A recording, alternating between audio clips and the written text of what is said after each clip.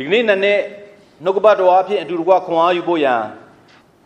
တက်တာလောနေဩဝါဒစာပထမဆောင်ခန်းကြီး9အခန်းငယ်16လောက်အထိကျွန်တော်အတူတကွဆင်ခြင်ခွန်အားယူဖို့ဖြစ်ပါတယ်။ဥစွာခန်းငယ်1ကနေ3ကို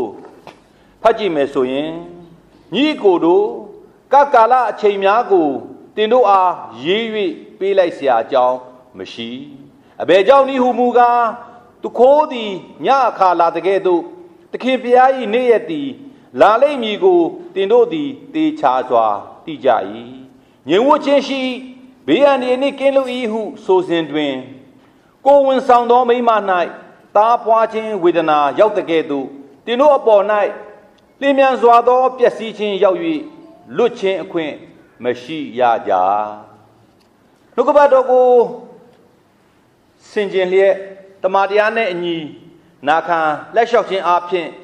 တမာတရိရှိတော်သူများဖြစ်နိုင်ကြပါစေဒီနေ့ကျွန်တော်လက်ထဲမှာရှိတဲ့တမာကျမ်းစာကကျွန်တော်တို့ဘလို့နေဘလို့ထိုင်ရမယ်ကအစဒီလောကကြီးမှာအောင်မြင်စွာဘလို့အသက်ရှင်ရမလဲ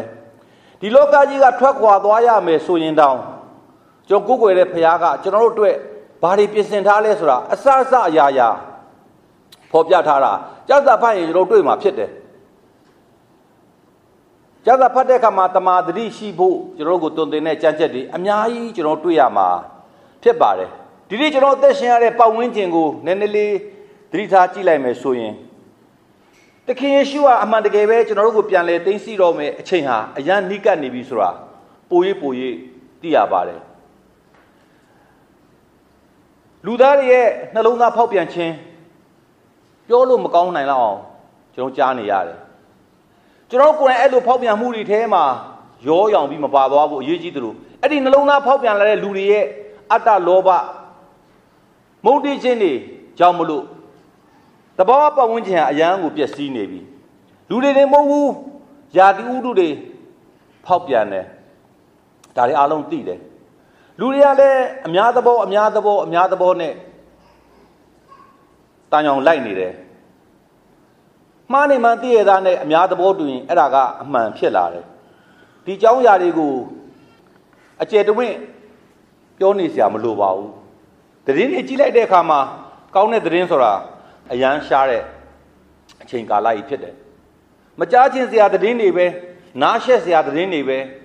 ကြားနေရတယ်ဒါတွေကိုမရေရှက်ရေလုံနေရင်းနဲ့ဂုံယူနေတဲ့ကာလကြီးဖြစ်တယ်ဒါဒီထဲမှာ ဆက်စုပ်ကြစရာကောင်းတဲ့အလုပ်တွေမလုပ်တဲ့လူကတော့လူထူးလူဆန်းလိုမျိုးဝိုင်းကြည့်နေတဲ့ကာလာကြီးထဲမှာကျွန်တော်အသက်ရှင်ရတာပါဒါကြောင့်မလို့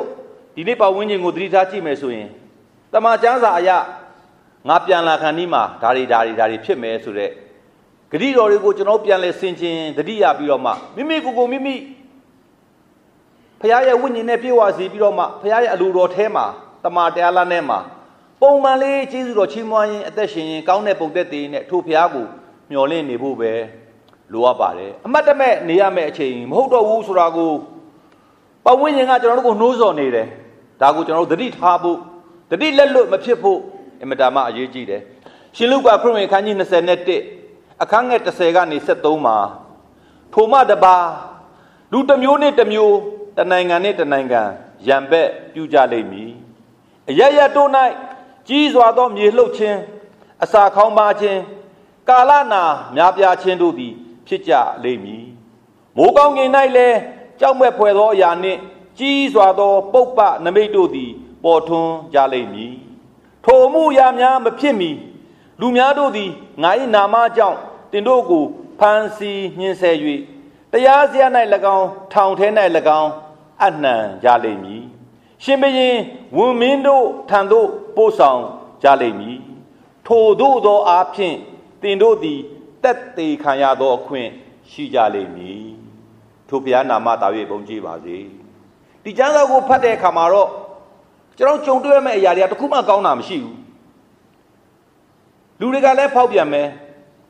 တဘာဝကလည်းဖောက်ပြန်မယ်မြေကြီးတွေလှုပ်မယ်ခက်ခဲမှုတွေဒုက္ခဆင်းရဲတွေရှိမယ် ဖမ်းဆီးမယ်နှိပ်စက်မယ်ဖះအကြောင်းပြောရင်ကျွန်တော်တို့ကိုလူတွေမုံတီးခြင်းခံရမယ်မကြသေးခင်ကပဲအီစတာအချိန်မှာဝိပုကိုးကွယ်နေတဲ့ဖះเจ้าထဲမှာဘုံဖောက်ခွဲသွားတယ်ကျွန်တော်တို့ကြားတယ်ကျွန်တော်တို့သိတယ်အချိန်ပြည့်ဓာတ်တွေကနေရာတိုင်းမှာ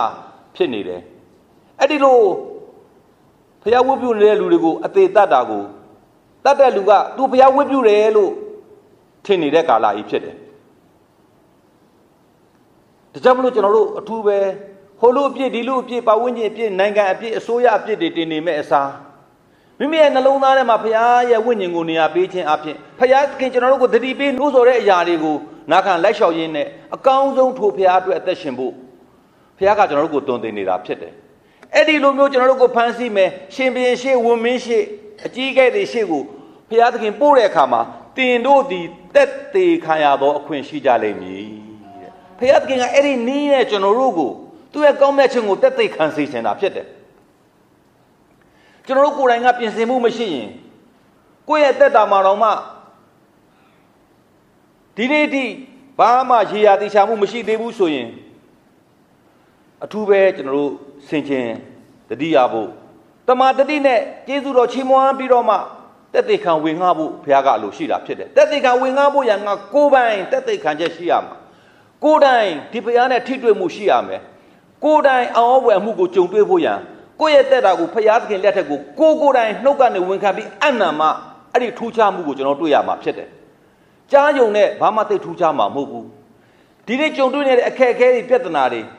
မှောင်မိုက်တဲ့အချိန်ကာလတွေလူတိုင်းကြုံမှုမှာဖြစ်တယ်။အဲ့ဒီလိုမှောင်မိုက်တဲ့အချိန်မှာအဲ့ဒီဖျားဟာတကယ်အသက်ရှင်နေဆိုရင်အဲ့ဒီဖျားကိုအနံတဲ့ကမှာဖျားကအဲ့ထက်ကနေဆွဲထုတ်ခြင်းအလင်းကိုပြန်ပေးခြင်းခွန်အားနဲ့ပြန်လဲရက်တည်နိုင်ခြင်းဟာ ငါအသက်ရှင်နေဆိုတာကို तू ကတက်သေးပြုတ်နေတာဖြစ်တယ်အဲ့ဒီတက်သေးကိုကျွန်တော်ရပြီးတော့မှနောက်တစ်ယောက်ကိုကျွန်တော်တက်သေးခံခြင်းအဖြစ်ဘုရားသခင်ကျွန်တော်ကိုထားတဲ့နေရာမှာကောင်းတဲ့တက်ရှင်ခြင်းပုံသက်သေးအဖြစ်မကြခင်ဒီဘုရားပြန်လဲကြွလာတော့မှာ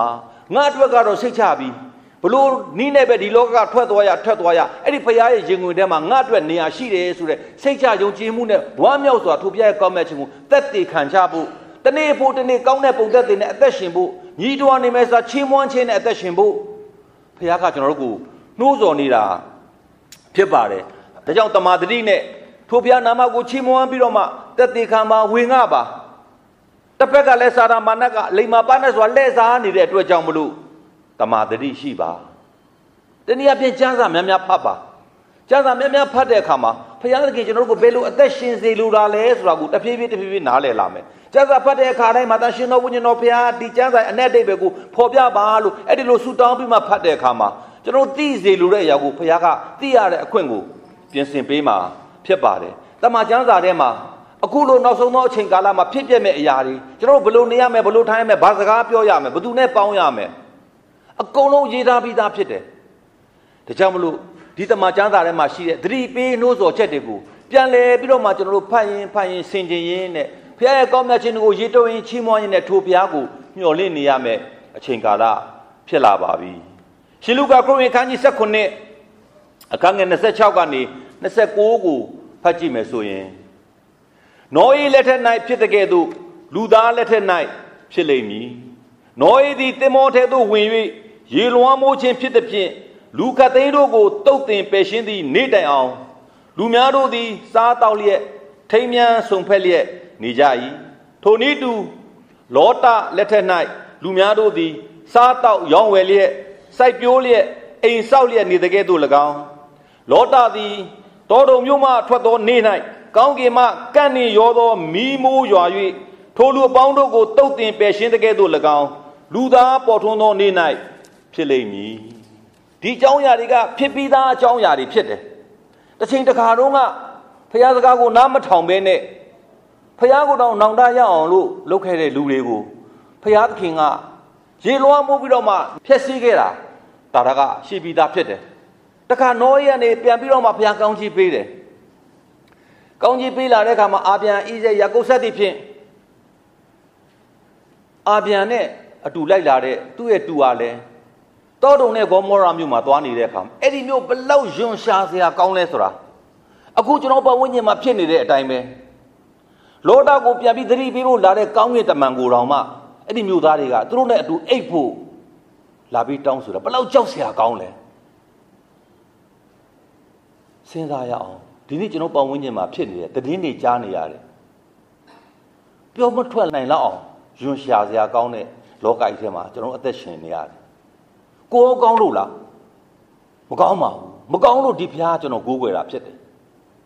ကျွန်တော်ဒါတွေပြောနေတာကျွန်တော်ကောင်းလို့မဟုတ်ဘူးကျွန်တော်ဖျားကောင်းလို့ဖြစ်တယ်ဟာလေလုယာကျွန်တော်ကိုးကွယ်တဲ့ဖျားကအဲ့ဒီပြစ်တဲ့ကနေကျွန်တော်တို့ကိုဆွဲထုတ်နိုင်တယ်ဒီနေ့ဒီချိန်မှာအဲ့ဒီဖျားကိုကျွန်တော်မဖက်ထားရင်ကျွန်တော်အချိန်မရွလဲသွားနိုင်တယ်ဒီမှာရှိတဲ့ညီကောင်မတို့ကအရောက်စီတိုင်းလေအဲ့ဒီကောင်းမြတ်တဲ့ဖျားကိုနှလုံးသားနဲ့သိပြီးတော့မှဖျားထဲမှာတိုးဝင်နေဖို့ဖျားထဲမှာပိတ်နှောင်ထားဖို့ဖျားထဲမှာဆူတောင်းခြင်းကြမ်းစာဖတ်ခြင်းဝိညာဉ်နဲ့ပြေဝခြင်းအပြည့်ထိုဖျားနဲ့အမြဲတမ်းထိတွေ့နေမှာပတ်ဝန်းကျင်ရဲ့ရိုက်ခတ်မှုတွေကိုကျွန်တော်တို့ခံနိုင်မှာဖြစ်တယ်ဒါကြောင့်မလို့ဒီကျမ်းစာကကျွန်တော်တို့ကိုနှိုးဆော်နေတာဖြစ်တယ် မကြခင်မှာဖျားခင်ကအမှန်တကယ်ပဲကျွန်တော်တို့ကိုပြန်လဲသိမ်းဆည်းတော့မှာဖြစ်တယ်ဘာဖြစ်လို့သိမ်းဆည်းမှာလဲဒီလောကကြီးကိုဖျက်ဆီးတဲ့ကမှာသူ့ရဲ့သားသမီးတွေဖျက်ဆီးခြင်းနဲ့မှမပါသွားဖို့ရကျွန်တော်တို့ကိုသိမ်းဆည်းမှာဖြစ်တယ်အဲ့ဒီသိမ်းဆည်းခြင်းနဲ့မှမပါရင်တော့ဖျက်ဆီးခြင်းနဲ့မှကျွန်တော်တို့ခံရမှာပဲဒါတွေကိုကျွန်တော်တို့ကြားစာဖတ်ရင်ကျွန်တော်သိမှာဖြစ်တယ်ဒါကြောင့်မလို့ယေရှုတော်ချီးမွမ်းဖို့ဖြစ်တယ်ရှေပေတုဩဝါဒစာဒုတိယဆောင်အခန်းကြီး3 အခန်းငယ်3ကနေ9ကိုဖတ်ကြည့်မယ်ဆိုရင်နှစ်ပေအခန်းကြီး3အခန်းငယ်3ကနေ9မှာရှေးဥစွာတိမတ်အပ်သောအရာဟုမူကားနောက်ဆုံးသောကာလ၌ပြည့်ရဲ့ပြုတ်တတ်သောသူတို့သည်မိမိတတ်မဲ့ခြင်းအတိုင်းကျင့်နေ၍သခင်ဖျားကြွလာမည်ဟုသောဂတိတော်သည်အဘယ်မှာရှိသနည်းဘိုးဝေးများအိပ်ပျော်သည်နောက်ခတ်သိမ်းသောအရာတို့သည်ဖန်ဆင်းစားကဖြစ်တဲ့ကဲ့သို့ဖြစ်မြဲဖြစ်ကြ၏ဟုဆိုလျက်ကဲ့ရဲ့ခြင်းနှင့်တကွပေါ်လာကြလိမ့်မည် ရှေးကာလ၌မိုးကောင်းကင်ကို၎င်းရေထဲကထွက်၍ရေပြင့်တည်သောမြေကြီးကို၎င်းဖျားသခင်နှုတ်ကပတ်တော်သည် ဖြစ်စေတော်မူကြောင်းနှင့်ဖြစ်ဘူးသော လောကဓာတ်ကိုထိုတို့အားဖြင့်ရေနှင့်လွှမ်းမြုပ်၍ဖြည့်ဆည်းကြောင်းကို ထိုသူတို့သည်မှတ်မိခြင်းသောစိတ်မရှိကြယခုရှိသောမိုးကောင်းကင်နှင့်မြေကြီးမူကားတရားဆုံးဖြတ်၍အတ္တမလူတို့ကိုဖျက်ဆီးသောနေ့ရက်တိုင်အောင်ထိုနှုတ်ကပတ်တော်အားဖြင့်တိုးထားလျက်ရှိ၍ မိရှို့ခြင်းအလိုငါနေရည်တည်းကျမ်းစာတွေကိုဖတ်လာတဲ့အခါမှာကျွန်တော်တို့ကိုတတိပင်နိုးစော်ထားတဲ့အရာတွေအများကြီးတွေ့လာရမှာဖြစ်တယ်လူတွေကဘယ်လောက်တောင်စိုးသွမ်းလာလဲဆိုတော့ရှေ့မှာဖြစ်ပျက်ခဲ့တဲ့အရာတွေကိုပြန်လဲထုတ်ဖော်ပြောပြနေတာတောင်မှတတိမရတဲ့အပြင်တယောမယ်တဲ့မင်းဖျားကြွလာမယ်ကြွလာမယ်ဆိုတာဘာမှလဲရှေ့လူကြီးတွေပြောခဲ့တာ ငါတော်မှအခုအဖိုးကြီးဖြစ်ဖြစ်သေပဲသေတော့မမင်းဖျားမလာသေးပါလားလို့ပြောတဲ့လူတွေအများကြီးကျွန်တော်တွေ့ရမှာဖြစ်တယ်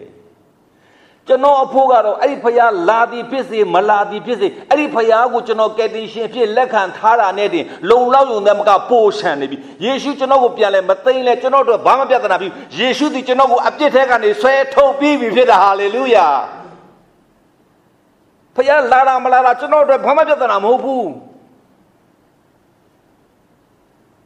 ကျွန်တော်တို့ပြင်ဆင်ထားရင်ကျွန်တော်တို့အရှုံးမရှိဘူးကျွန်တော်မပြင်ဆင်ထားရင်တော့ကျမ်းစာအရာကျွန်တော်တို့ပဲဘေးစားရမှာဖြစ်တယ်ယေရှုသည်ကျွန်တော်တို့ကိုအပြစ်ဒူးရိုက်ထဲကနေဆွဲထုတ်ထားတဲ့ယေရှုတရားကိုတကယ်နားလည်ရင်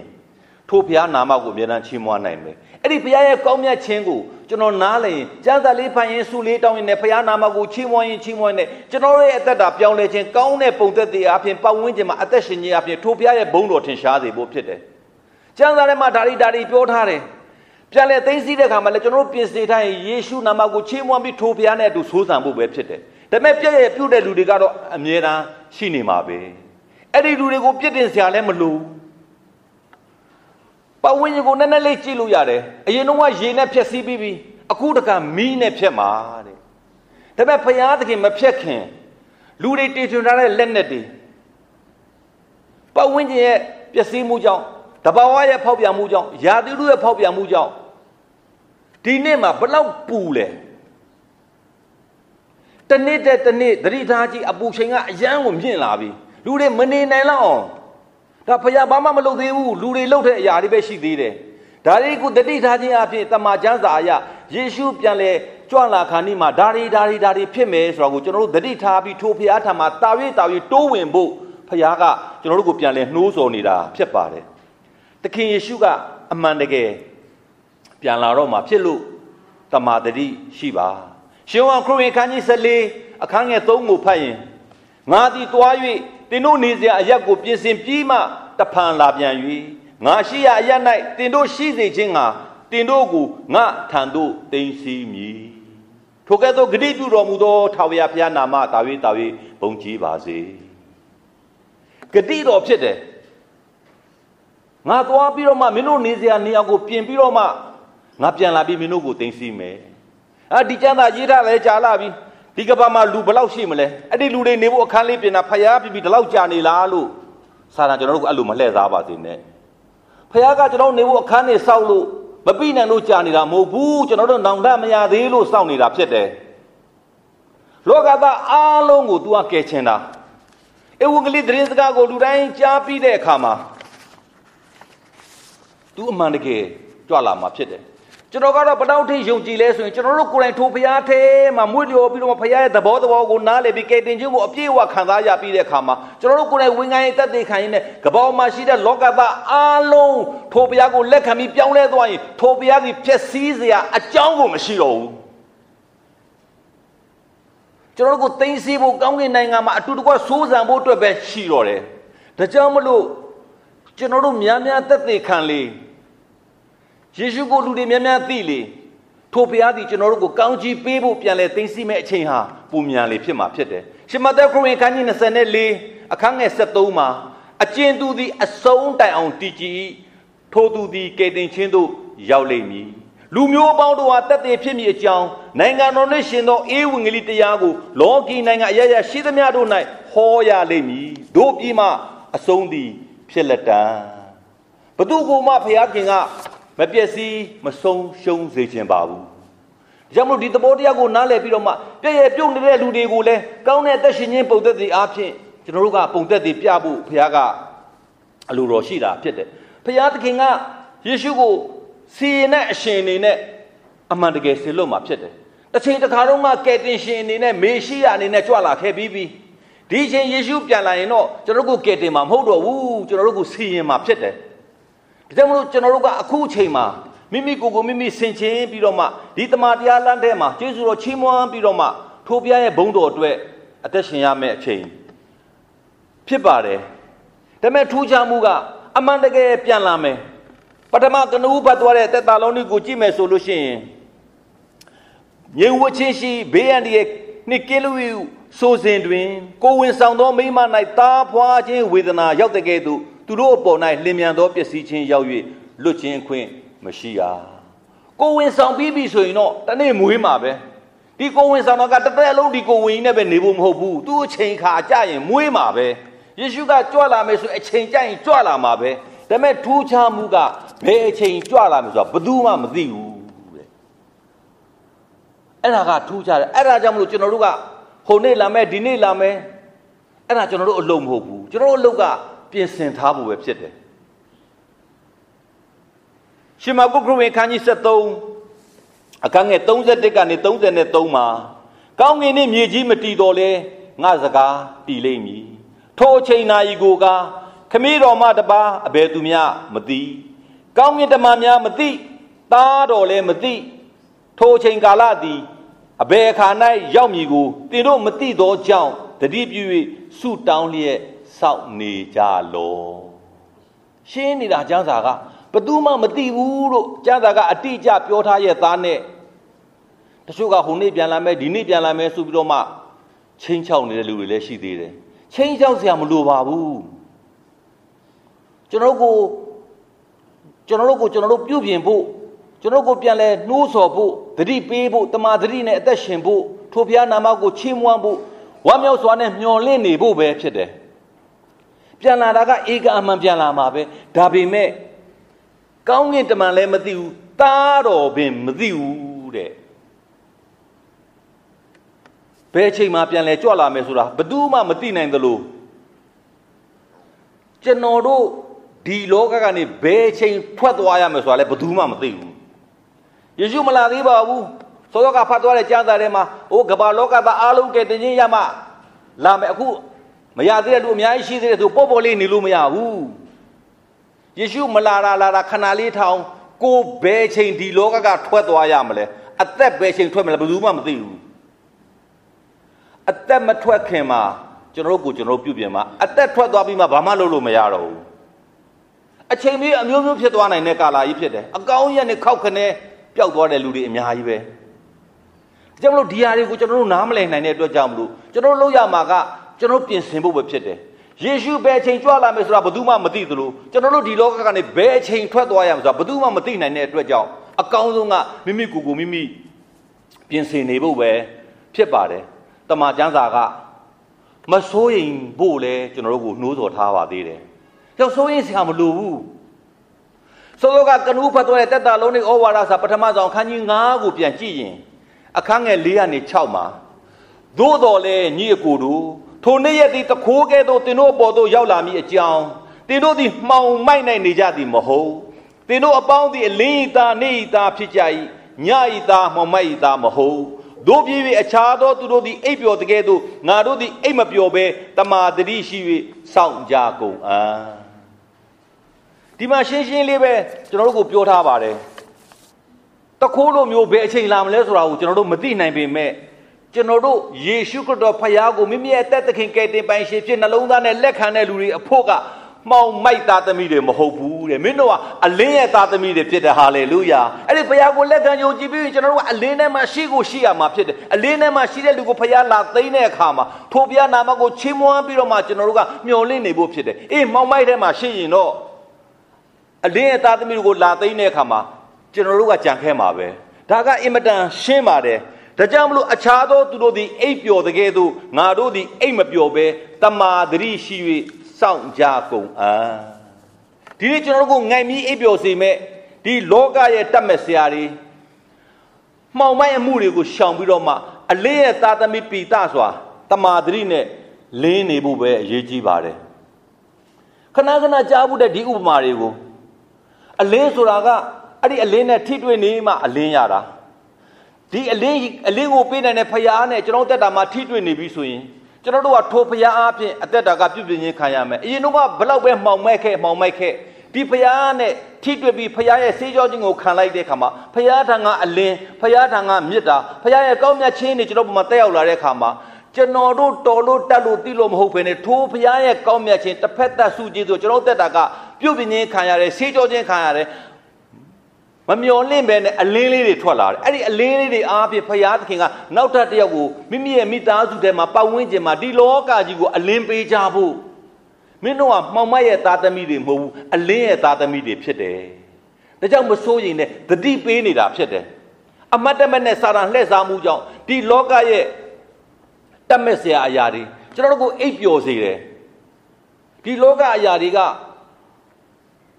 အိပ်ပျော်စေတယ်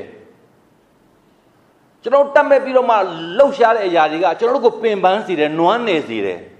ဒီအရာတွေထဲမှာအသက်မရှင်ပဲနဲ့အလင်းရဲ့သားသမီးပီတစွာတမာတရိနဲ့ထိုဘုရားတန်ကအလင်းကိုခံယူပြီးတော့မှတတ်နိုင်သလောက်ကောင်းတဲ့ပုံသက်တွေနဲ့အလင်းလင်းချဖို့ဘုရားကဒီနေ့နံနဲ့ကျွန်တော်တို့ကိုနှိုးဆော်နေတာဖြစ်ပါတယ်အဲ့ဒီတစ်တဲ့အခန်းကြီးကအခန်းငယ်ခုနှစ်ကိုကြည့်မယ်ဆိုရင်လေအကြောင်းမူကားအိပ်ပျော်သောသူတို့သည်ညအခါအိပ်ပျော်တတ်ကြ၏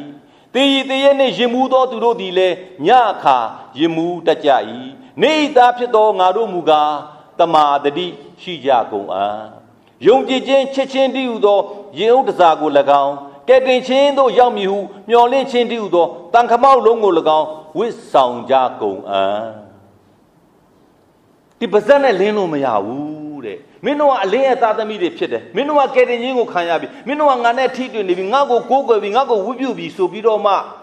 ဖခင်သခင်ကျွန်တော်တို့ကိုပြင်ဆင်ပေးတဲ့လက်နဲ့တွေအမြဲဝတ်ထားပါတဲ့အဲ့တော့မှရန်သူကျွန်တော်တို့ကိုတိုက်ခိုက်လို့မရပါဒီလက်နဲ့အကြောင်းကိုအေဖက်ဩဝါဒစာခန်းကြီး6ခန်းငယ်30ကနေ78ကိုဖတ်ရင်ကျွန်တော်တွေ့ရမှာဖြစ်တယ်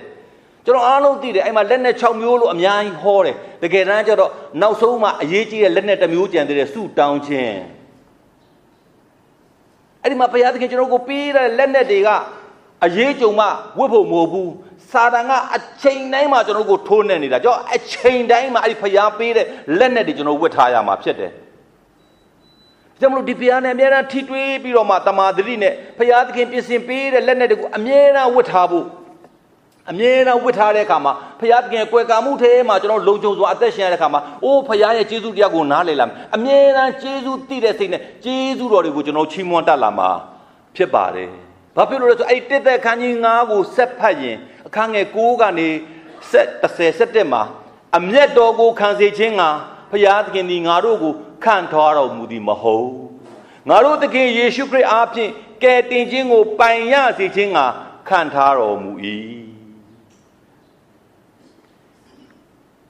ရှင်းရှင်းလေးကျမ်းကျမ်းစာကရေးထားပြီးသားပါကျွန်တော်တို့ကိုဘုရားသခင်အပြစ်တဲကနေဆွဲထုတ်တာအမျက်တော်ခံဖို့မဟုတ်ဘူးကျွန်တော်တို့ကအပြစ်ပေးဖို့မဟုတ်အပြစ်ပေးခြင်းမှာတော့ငကိုတဲကအตาလေးအဲ့ထဲမှာပဲဆက်ထားလိုက်မှာပေါ့ကျွန်တော်တို့ကိုပြစ်တဲကနေဆွဲထုတ်ပြီးတော့မှ तू ဟာပြုပြင်ပြီးတော့မှသူ့ရဲ့ဘုန်းတော်အတွက်တက်သေးခံများအနေနဲ့အသက်ရှင်စေလိုတာဖြစ်တယ်အမျက်တော်ကိုခံဖို့မဟုတ်ကျွန်တော်တို့ကို तू က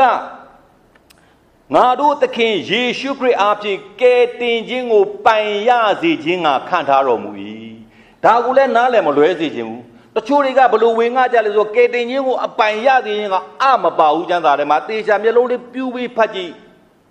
ကယ်တင်ခြင်းကဖခင်ကယုံကြည်အပိုင်ပေးတာမဟုတ်ဘူးအခုကျွန်တော်ကဘာဖြစ်လဲဆိုတော့ယေရှုကိုယုံပြီးနှစ်ချင်းခံပြီးပြီးကယ်တင်ခြင်းကယ်တင်ခြင်းအပိုင်ရပြီဆိုတော့လှုပ်ချင်တာလှုပ်နေတာ တခါယုံလိုက်တစ်သက်လုံးဒီကယ်တင်ခြင်းမဆုံးရှုံးတော့ဘူးဒီလိုမှုတေချာပတ်ကြည့်ကဲတင်ခြင်းကိုပိုင်ရစီကြကဲတင်ခြင်းစုကျေးဇူးကိုကျွန်တော်တို့ကိုပိုင်ဆိုင်ခွင့်ပေးလိုက်တာဖြစ်တယ်အဲ့ဒီပိုင်ဆိုင်ခွင့်ပေးတဲ့ကဲတင်ခြင်းစုကျေးဇူးကိုနားမလဲတန်ဖိုးမထိုင်အချိန်မရွေးပြန်လဲဆုံးရှုံးသွားနိုင်တယ်ယေရှုပြန်လာတာမပြန်လာတာတခါနာအဲ့ဒီကဲတင်ခြင်းကိုကိုတန်ဖိုးမထားဘဲနဲ့ကဲတင်ခြင်းဆုံးရှုံးသွားရင်ဒီလောကမှာပဲကျွန်တော်တို့ဒီဘုရားကိုလည်းသိတယ် ဒီဘုရားကိုလည်းကိုးကွယ်တယ်ဒီဘုရားကိုလည်းချီးမွမ်းတယ်ဆုတောင်းရင်းနဲ့ဒီနေ့ဒီမုန်းတီးခြင်းကမလျော်သေးဘူးဒီနေ့ဒီခွင့်မလွန်နိုင်သေးဘူးဒီနေ့ဒီဘလူးနဲ့မှလက်မတွဲနိုင်သေးဘူးဆိုတာကဲတင်ခြင်းကိုရကိုမရသေးတာဖြစ်တယ်ကျွန်တော်တို့ကိုပိုင်ဆိုင်ခွင့်ပေးလိုက်တာဖြစ်တယ်အပြစ်တဲကနေဆွဲထုတ်တဲ့ဖရားကသူ့ကိုဝန်ခံလိုက်ရင်ကဲတင်ပိုင်ရှင်ပြလက်ခံယူကြည်လိုက်တဲ့အခါမှာကျွန်တော်တို့ကဲတင်ခြင်းကိုပိုင်ဆိုင်ခွင့်ရသွားတာဖြစ်တယ်ဒါကြောင့်မလို့ဆိုတော့ကဖတ်သွားတဲ့ရှမသက်ခရစ်ဝင်ခန်းကြီး 24ခန်းငယ်73မှာအကျဉ်သူသည်အဆုံးတိုင်အောင်တည်ကြည်ထိုသူသည်ကယ်တင်ခြင်းသို့ရောက်လိမ့်မည်လို့ရေးထားတာဖြစ်တယ်အဆုံးတိုင်အောင်ကျွန်တော်တို့တည်ကြည်ရမှာဖြစ်တယ်ဖခင်သခင်ကကျွန်တော်တို့ကယ်တင်ခြင်းကိုပိုင်ဆိုင်ခွင့်ပေးထားပြီးပြီအဲ့ပိုင်ဆိုင်ခွင့်ကိုရတဲ့အရာကိုတန်ဖိုးထားပြီးတော့မှအလင်းရဲ့သားသမီးအရင်တော့ကအမောင်ရဲ့သားသမီးဖြစ်တယ်အခုအလင်းရဲ့သားသမီးဖြစ်ပြီအလင်းရဲ့သားသမီးဖြစ်ပြီအလင်းရဲ့သားသမီးပီတာဆိုတာထိုဖခင်နာမကိုချီးမွမ်းပြီးကျေးဇူးတည်တဲ့စိတ်နဲ့ဖခင်ဘုန်းတော်အတွက်ပဲအသက်ရှင်ဖို့ဖြစ်တယ် အဲ့ဒီလိုမျိုးပြင်ဆင်ခြင်းနဲ့ဆုတောင်းခြင်းကျေးဇူးတော်ချီးမွမ်းခြင်းကျမ်းစာဖတ်ခြင်းမိသားရဖွဲ့ခြင်းတသက်ခံခြင်းနဲ့အိုးဘုရားနာမကိုအမြဲတမ်းချီးမွမ်းတတ်တဲ့လူတစ်ယောက်ကိုဘုရားကအမြဲတမ်းသူ့ရဲ့ဝိညာဉ်အားဖြင့်ထိမ့်သိမ့်နဲ့စောင့်ရှောက်တဲ့ကွဲကားတဲ့လမ်းပြတဲ့ကောင်းကြီးပေးတယ်ကျွန်တော်ရဲ့အသက်ရှင်ခြင်းပုံသက်တွေကိုဘေးကလူတွေကြည့်တဲ့အခါမှာကျွန်တော်ကိုးကွယ်တဲ့ဘုရားကိုသူတို့မြင်လာတယ်အဲ့ဒီနီးနဲ့ဘုရားရဲ့ကောင်းမြတ်ခြင်းကကျွန်တော်အပြင်ဆက်လက်စီးဆင်းဖို့ရန်ဘုရားသခင်ကျွန်တော်တို့ကိုပြင်ဆင်ထားတာဖြစ်ပါတယ်ဒါကြောင့်မလို့ ငါတို့သည်နိုးလျက်ရှိသည်ဖြစ်စေအိပ်ပျော်သည်ဖြစ်စေထိုသခင်နှင့်အတူအသက်ရှင်မည်အကြောင်းငါတို့အဖို့အသေးခံတော်မူ၏ဒီနေ့ကျွန်တော်တို့အိတ်နေတာပဲဖြစ်ဖြစ်နိုးနေတာပဲဖြစ်ဖြစ်ဈေးရောက်တာပဲဖြစ်ဖြစ်အလုပ်လုပ်တာပဲဖြစ်ဖြစ်ဖျားချောင်းသွားတာပဲဖြစ်ဘယ်နေရာမှာဘာပဲဖြစ်ဖြစ်အဲ့ဒီယေရှုနဲ့အတူအသက်ရှင်ပါတဲ့ယေရှုနဲ့အတူအသက်ရှင်မှယေရှုနဲ့အတူကျွန်တော်အောင်မြင်နိုင်မှာဖြစ်တယ်ယေရှုနဲ့အတူသီးခံနိုင်မှာဖြစ်တယ်ယေရှုနဲ့အတူငြိမ်သက်စွာကျွန်တော်ယဉ်ဆိုင်နိုင်မှာဖြစ်တယ် ဒါကြောင့်မို့ဒီနေ့တမာတရိရှိပြီးတော့မှကျမ်းတော်ကိုဖတ်ရင်ထိုဖရားရဲ့ဝိညာဉ်နဲ့ကျွန်တော်ထိတွေ့ခြင်းအပြင်ကျွန်တော်ကိုကျွန်တော်အမြဲတမ်းတည်ဆောက်နေဖို့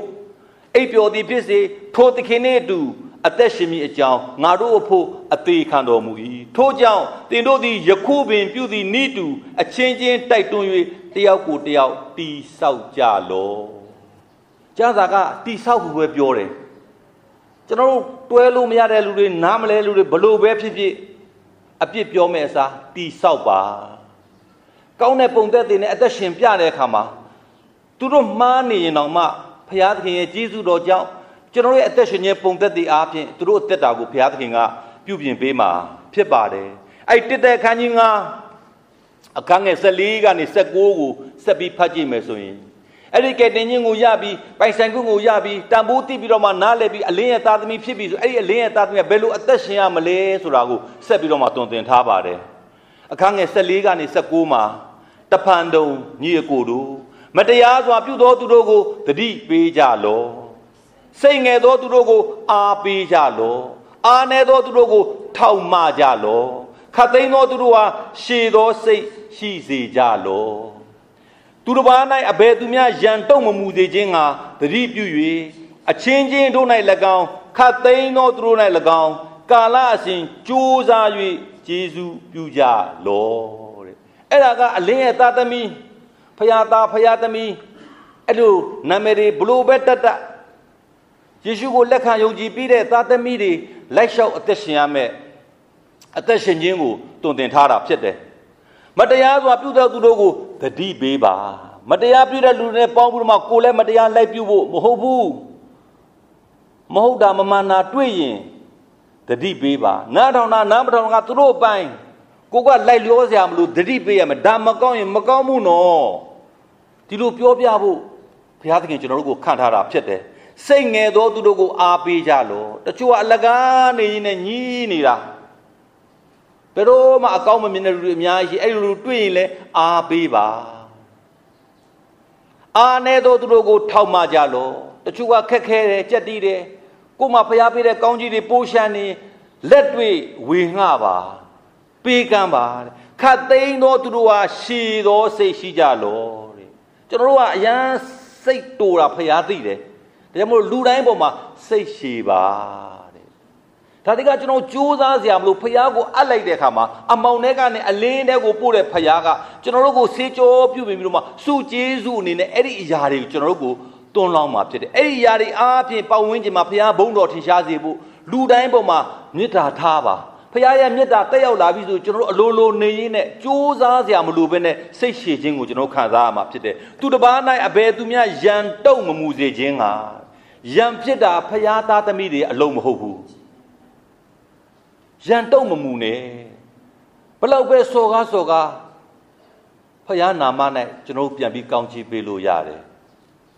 တတိပြု၍တဲ့အချင်းချင်းတို့၌၎င်းခတ်သိမ်းသောသူတို့၌၎င်းကာလအစဉ်ကြိုးစားဆိုတာထည့်ထားပေးပါတယ်မလွယ်မှန်းသိလို့ကျွန်တော်ကြိုးစားဖို့ကျေးဇူးပြုပါကျေးဇူးပြုဖို့ကမလွယ်ဘူးဘာလို့ဆိုကျေးဇူးပြုရင်ကျေးဇူးကမ်းတဲ့ကာလဖြစ်တယ်ကြွေးတိုင်းကြွေးထားမှတော့မသိဘူး စေတနာနဲ့ပေးတာကိုတော့မှကျေးဇူးမတင်နဲ့ပြင်စော်ကားတဲ့ကာလကြီးဖြစ်တယ်ပေးနေတာကိုကျေးဇူးမတင်တဲ့ပြင်ပေါ်နေတာကိုဖြုံးနေတယ်အဲအဲ့လိုမျိုး